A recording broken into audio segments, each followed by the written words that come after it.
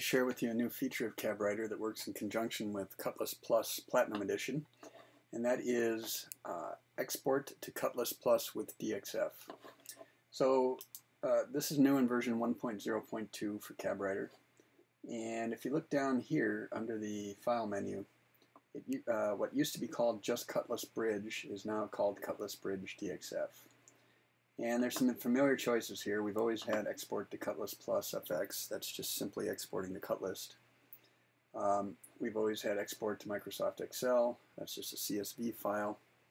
And export to DXF. Uh, export to DXF, um, put all of your parts into one big DXF file that you could pull into your CAM software. Now, if you own um, or purchase Cutlist Plus FX um, Platinum Edition, you can now use this new command here called export to Cutlist Plus with DXF. It'll export your Cutlass, plus it'll export um, individual DXF files that Cutlist Plus can then pull in and allow you to do optimization within Cutlist Plus, uh, which is what I'm going to show you. So here I've got a kitchen model and I've already got a bunch of scenes done here and one of them is carcasses only. So I'd like to select all. So I'm going to do edit, uh, select all. And I'm going to do this new command, Cutlist uh, Bridge DXF menu, uh, export to Cutlist plus FX with DXF. And it's telling me that a Cutlass file has been written to my folder and all the DXF files have also been placed in a folder in that um, folder. And let's go look at that real quick. So here is my .cwx file. That's what um, the Cutlist Plus file, uh, compatible file. So that's essentially the uh, with a little bit of extra information um, giving a path to each of these files, um, which are the uh, all the DXF files here. So that's how Cutlist Plus will know where to find those. So if we double click on this .cwx file, it'll launch Cutlist Plus. So you see your, if you're familiar with Cutlist Plus, you'll see a normal cut list here. And uh, if I go to layouts, I'll get my layouts as usual. I got my half inch pre-finished and, and so on.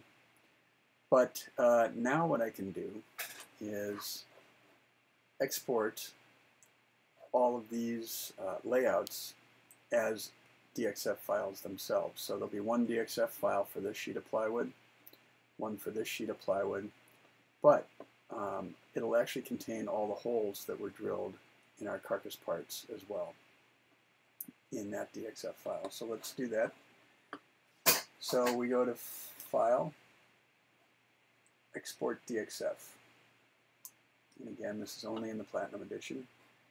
And it's telling me where the um, files are going to be saved, and, and the default is the desktop um, with the same name as the um, file that we read in.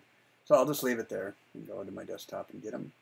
So let's say OK. It says it was successfully exported. And if we go back to my desktop and find that folder right here. It's got my various types of plywood, so I'm just going to look at the pre-finished maple plywood. And we can see uh, the different sheets here. Um, D1 through 9. So that's D1 through 9, and I know it's these because this is my 3 quarter inch plywood, and I can see that's the point 0.75 um, group right here. So let's look at, um, say, uh, number three here. So since this is a DXF file, I'm just going to look at it in my AutoCAD application for the moment and see what it looks like.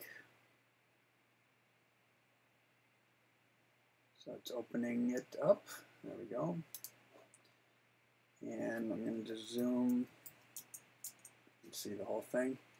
So now we can see that this is maple plywood pre-finished 3 quarter inch, uh, 48 and a half by 96 and a half. You'll notice unlike the layout over here within Cutlist Plus, This is a true DXF.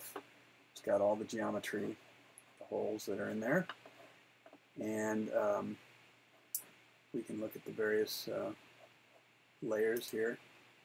And um, just like in the other DXF file that we uh, export, uh, you'll see that we have uh, large parts, we have small parts, anything smaller than a certain size, we can do something different with that, maybe onion skin on the CNC.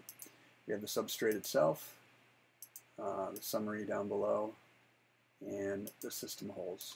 There are no construction holes on this one. If there were, there would be another layer. And the labels. So now you could take these files and bring it into your favorite CAM software and do the tool pathing for your CNC. Very handy. Uh, so that's all there is to uh, this command.